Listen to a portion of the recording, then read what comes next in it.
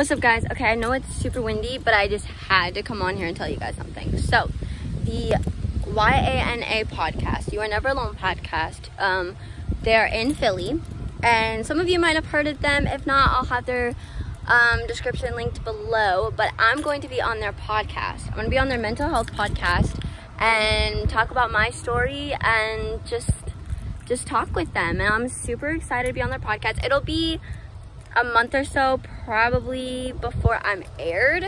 Um, but uh, I just talked to the person, so keep a lookout for that. Um, I'm super excited to even have the opportunity to be on their podcast, and it's just something I'm so grateful for because I reached out to them on Instagram, and uh, to be honest, I really didn't think they were gonna email me back or text me back on Instagram, but they did.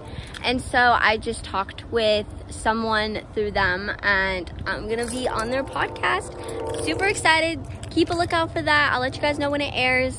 So yeah, that's all.